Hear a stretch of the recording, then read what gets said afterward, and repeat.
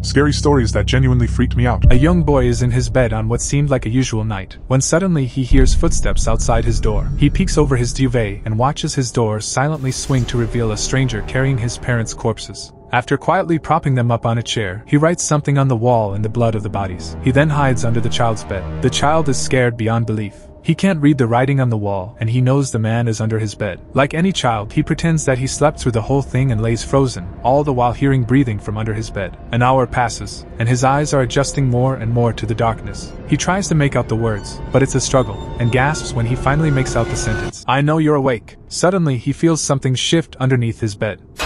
Wait, wanna hear creepier? At the end of 2023, people started falling from the sky. Links in the comments.